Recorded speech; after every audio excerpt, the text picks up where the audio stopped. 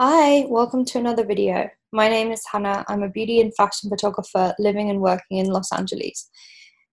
Today I'm going to be introducing you to my Instagram and talking through the different lighting setups I use, lenses and cameras and other techniques that I use to get the shot. So let's get started. As you can see, this is my Instagram page. I also have a still life page and a mood board page and a personal page. And then I have my email typed out here because it's good for clients to be able to copy and paste your email address. And then I also have my website link here. I have a bunch of stories at the top. It's a bit of a mess and I do need to clean it up but I like to try and do a lot of Instagram stories as it's really good for engagement. And I like to keep them saved as it's just really nice to have the memories. You know, I can go back to, for example, summer 19 and I can see what I was doing then. I started doing them pretty soon after the stories feature came about. And it's really good to not only just post your work in your stories, but post behind the scenes, posts any travel or editing and things that are coming soon and to really boost your Instagram engagement. So here you can see my Instagram and my layout changes. I like to go through different sort of color schemes and stuff like that. Um, I started doing a lot of these, you know, nine photos at once type shots, and I think they look pretty cool. I do a lot of stuff in pools with water. I do a lot of beauty. This is one of my favorite shots here.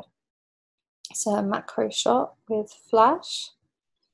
And I really love this color palette here. It just makes me so happy. I don't even know how to describe it. But I love really focusing on color palettes and making sure my Instagram just looks, you know, as good as possible and then I'm going to zoom a bit further out so you can kind of see how the color palette works. I'm sort of in this bit I'm primarily using reds, pinks and uh, blues and then obviously black and white. This shot was when I was shooting with gels. As you can see the whole room went red which is one of the most incredible things about shooting with gels. It's always super fun. It looks pretty cool in a behind the scenes photo. And then here is more of a neutral color palette. This image, for example, I shot just with natural light um, in my hotel room. It was around 5 or 6 p.m., I think. The sun was going down, and that light in LA was just so beautiful. Here I'm going obviously for some more neutral tones. This is a behind the scenes of the end of the day shooting as you can see the cove has got super dirty from footprints and there's wires everywhere but we were all just clearing up and i thought it looked pretty cool so i took a photo. Here is a shot i did for my friend's album cover. Um, it's shot in studio. We used a red backdrop. Here is a shot I d- took in for a magazine in the woods, and we really just played around with the wind and uh, this red fabric, and it just looks so so epic. I love that shot. Here is an Adidas campaign I did. This is all just natural light, shot in London. It's so funny because he had a broken arm, so he couldn't get his shirt on, but somehow he managed to sort of style it in a way that you couldn't really tell and his arm isn't even through the sleeve in that shot. That's me. and this color palette again going from reds and neutrals and greens. This shot was shot in this beautiful location house with a pool. This is a campaign I did for this amazing clean beauty brand called Saie.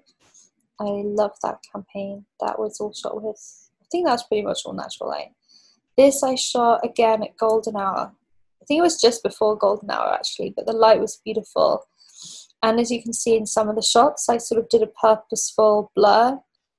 And um, I just, I was using a 100 millimeter lens and literally just natural light. I think that's it. I might have used a tiny reflector. And then this shot I really love. Um, we just used a blue background, like I literally just used a sheet of A1 paper, like card, and put her in front of it. And we just used the natural light in London. London is very cloudy and the light isn't great, but as you can see, because her skin was super wet, um, she just looks so glowy and beautiful. And I don't know, I just, I'm obsessed with those images. So you can see here, uh, my mood board is sort of going more into pinks. I love this shot. Um, definitely one of my favorites. This girl has the coolest smile, the coolest laugh, and um, yeah, I just absolutely love this shot. Again, natural light, 100 millimeter lens. Uh, mm, I don't think I even used a reflector in that one. And then, yeah, just going back through the last few months. This I shot in a hotel room with blinds in Los Angeles. Um, literally, I just put her in the room behind the blinds, and the light, as you can see, just looks so beautiful on her face. This was a campaign for NARS Cosmetics. We did that in studio, and we had all these incredible wildflowers. It was so beautiful. There's a bit more work. You can see scrolling down. Now, this is a really cool shot because I used literally again golden hour lighting, but I made the aperture higher and I made the shutter speed like six or something really low. And I just told her to move around, and I also moved the camera around. And when you've got especially sparkly makeup, it glows so amazingly, as you can see here. Um, so it just gives a nice blurry, glowy effect. Um, but yeah, all you have to do is lower the shutter speed and play around with it. This I shot with um, on camera flash, like the hot shoe flash. This is so funny because I shot this in a paddling pool.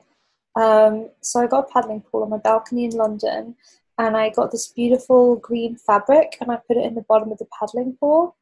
And then the model just sort of laid in. Her feet were out, but then her like body was in and her knees were just sort of up out at the edge of the paddling pool. Um, but we just filled it with shallow water and sort of swished it around. And the soft, natural, cloudy daylight of London, I don't know, I just am so obsessed with this shot and the shoot I did in general. Here's an example of a blow, uh, glowy, blurry effect, but in studio. Again, this is for my um, friend's album cover, but I think it's just such a cool shot, you know. And again, you just bring the aperture up and you bring the shutter speed way down and you just play around with it and you can get some really cool images. This, these two I both did again just with natural light. I think natural light is our biggest friend. I think a lot of people think it would take more. This was shot in the studio. This was a campaign for amazing clean skincare brand Youth to the People. That was shot in the studio with just one big light source, an Octa.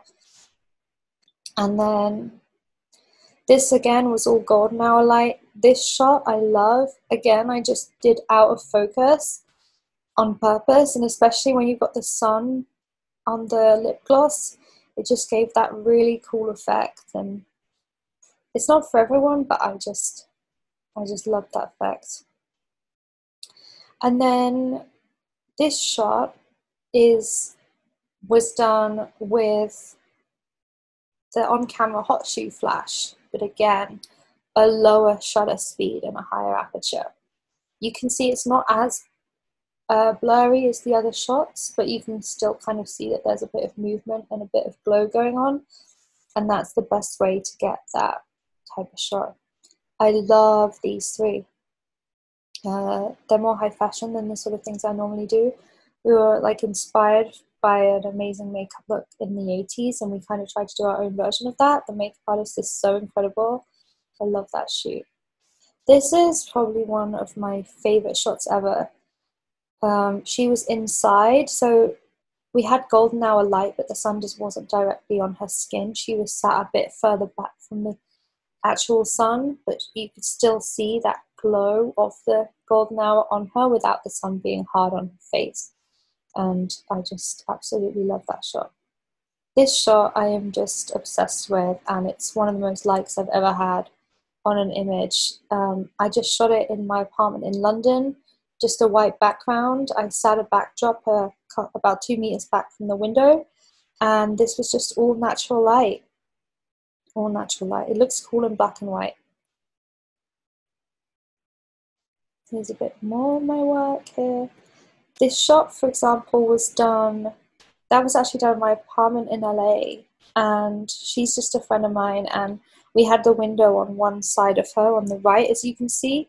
And it was just a beautiful, soft light that came over the image. And I shot that on my 2470 lens. But yeah, just all natural light. This is a campaign I shot for this amazing, again, clean beauty brand, Kosas Cosmetics and this was in Sephora. I was super, super hyped. We shot this in studio, and um, that's, you know, it was a big lighting setup, but this is an amazing digital billboard that um, went up of this image that I shot of this incredible uh, singer called Her. Uh, she's the most incredible musician, and if you haven't heard her music, you need to. She is so talented. And yeah, I was blown away. That was literally exhibited like a mile away from my house in LA. I was um I was so happy when I saw that. And then this again, just natural light. I think this was shot probably around two or three PM. I try to use a really shallow depth of field a lot of the time in beauty. I think it gives this really nice um, effect here. It's not for everyone, but I love it, and my clients always want me to do it. And so the eye you can see is sort of perfectly in focus, but the nose and the mouth are slightly out of focus. But I love that effect. This was shot literally, the sun was just going down, as you can see, um, probably around you know 6 or 7 p.m. This is a campaign, more the one I shot for Youth to the People. I absolutely love that shoot. And then that's a shoot I shot in this pool. And then this shot I did, it was for a perfume brand. And we used gels. And what we did was we had one gel, we had two lights, and we had one with a gel on the background, one on the foreground. This one we just used one gel for the whole shot. And the same um, for this one. But then on this shot, again, we had red on the front, purple on the background. But then as you can see, the purple's kind of glowing through as it's bouncing off the background. This I shot through a window. And as you can see, there's a bit of glare um, coming through from the window. Um, and I also really like to push the freckles on Photoshop so that they show up, um, you know, really well because sometimes when you edit black and white, the freckles just disappear. I like to make sure you can see them because I think they're beautiful. I love all of these. I shot this again in my London apartment, just a couple of meters back from the window, just had a, back, a white background up. And um, yeah, just all natural light. And then here I posting a few black and whites. Again, this was done in the window this is a billboard that I had, which is, I think it's one of my first billboards. I think I've only ever had like four before, but there were actually like five different billboards. Um, I didn't get pictures of some of them, but yeah, that was so cool driving around LA, seeing my work on a billboard. It just blew my mind. It was amazing. And then I love this shot again. This was shot with the same setup as the other shot of this girl. Um, you know, golden hour, but she was set a bit further back from the window. As you can see, I'm really obsessed with my color palettes and trying to keep everything flowing.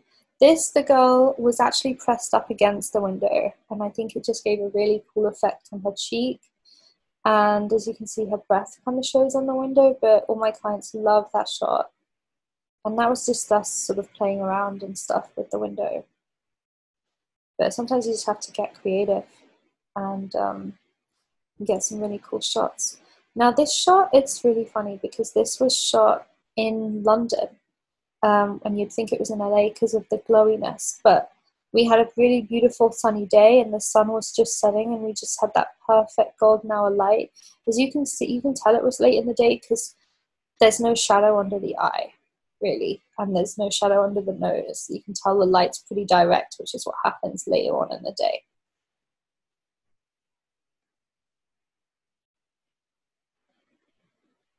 I love this shot. These shots are one of the, my favorites, if not my favorite ever. This is shot in LA, but it was on a cloudy winter day, and we were in the shadow. We weren't in the sun, and yeah, I mean the makeup's incredible. The makeup artist Zara was amazing, and I just I can't deal with these shots. I just absolutely love them. This shot was done in New York, um, probably around 3 p.m and as you can see the light is still pretty high but it's it's not too high. It's kind of nice. And I got pretty low to take this shot. I think I was on the floor but I really like trying to experiment with different angles when I'm shooting as you can see the light still looks very beautiful on her face but she's having to have her face um, facing up a bit more towards the sky so that the shadows you know aren't crazy on her face if she had had her chin more down the shadows would have um, just gone a bit crazy.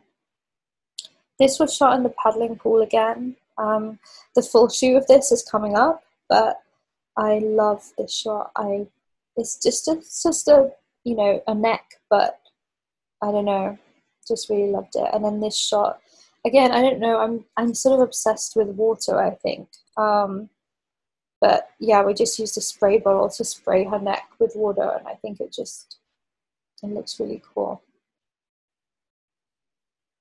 these two were both shot with the on-camera flash, the hot shoe flash. I had a hotel room, but it was super small. So we, and I didn't have any light, so we just used the flash. This was shot in a different hotel room. This was in LA, and um, just, I mean, the light was just so beautiful.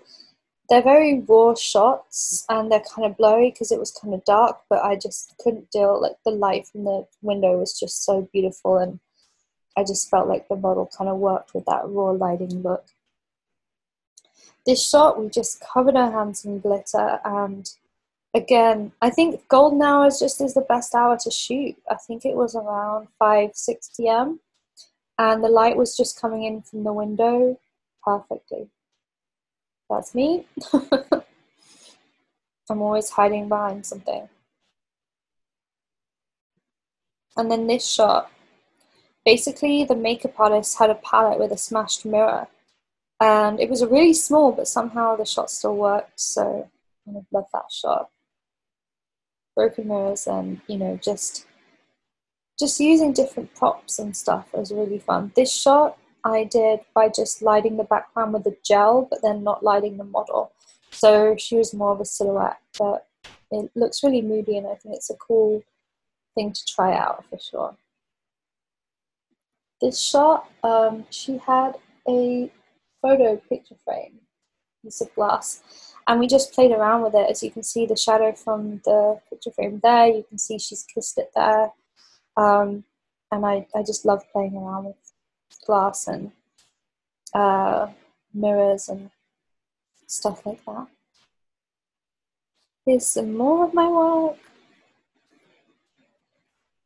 Again, I just love natural light. Pretty much all of it is natural light. Um, unless it's a campaign, it's pretty much all natural light. I just love to play with it. I feel like there's so much you can do. Here I'm going into my color palettes of blues and reds. This shot was so fun. We just poured a load of pigment. Um, on the makeup artist poured pigment on her face. And we just did some cute shots that look really cool. Now this is one of my favorite shoots ever. Again, we used the paddling pool, um, but on a different day. And we obviously fresh water and everything, we cleaned it. And um, we put a black sheet in the bottom of the swimming pool. And I just think it looks so dramatic and so cool uh, if you don't have access to a swimming pool, I just feel like you can do a lot with a paddling pool, especially if you're just doing beauty. It's a bit of a faff, but great to do. This was really fun. My boyfriend is a set designer, so he built this set and painted it all crazy with the white. And then we used um, a mask to put on the model, like a face mask. We didn't use paint on her, obviously, and just try to make it look like she was sort of in the painting. Um, but I love the shoot so much. It was so fun. We only had a couple of hours and we didn't have much styling. I wish we had more, um, but I didn't want to get all the clothes covered in paint. So, um, yeah, but I do really love that shot.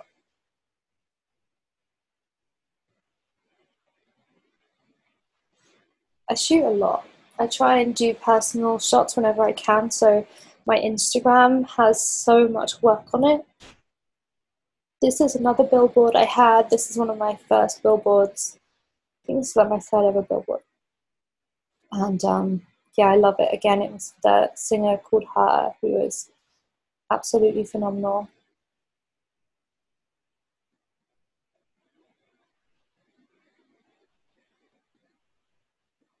This was a campaign for Summer Fridays, which is a really amazing skincare brand.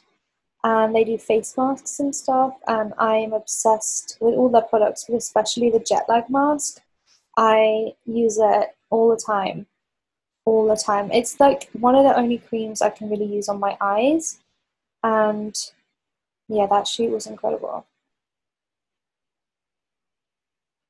This shot and this shot were just done in, again, natural light, but soft light. I think I might have put a reflector below. Yeah, I think I used a reflector below the face in those shots. So I had an assistant standing off to the side, just holding the reflector. This was done in my friend's apartment, just with that beautiful, again, the golden hour light coming through. These shots I love. They're just black and white, but I think they're pretty cool. This shot was pretty fun. I just shot this through a glass. Um, and it's kind of edgy, but I kind of like it. It was kind of fun to shoot. Just natural light again. This was shot in Chicago. I went there January 2019 and it was so cold. it was like snowing and stuff. It was so, so cold, but it was amazing. And this I just used a shallow depth of field and tried to put her like in the middle of the road, but there was like a, a walkway in the middle of the road, so it was safe. And then this was outside the obviously Chicago theater in Chicago. You can see all the snow on the floor. It was super cold, but I really, really enjoyed that shoot. And then this shot was done in the woods. Uh, we had one of those um, those smoke bomb things. Like the art director had one of those. Well, we had a few of them. And um, yeah, obviously you need to get permission to do all these things. Um, but that was incredible. It looked really cool.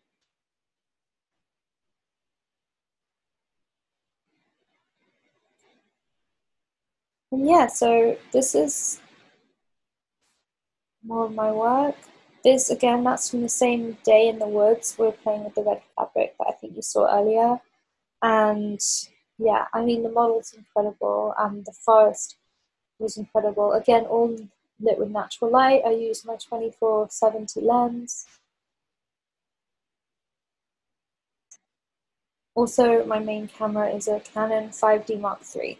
So that's what I use for pretty much all of this work. If it's a campaign, then I usually rent a Mark IV and then sort of claim that back with the costs.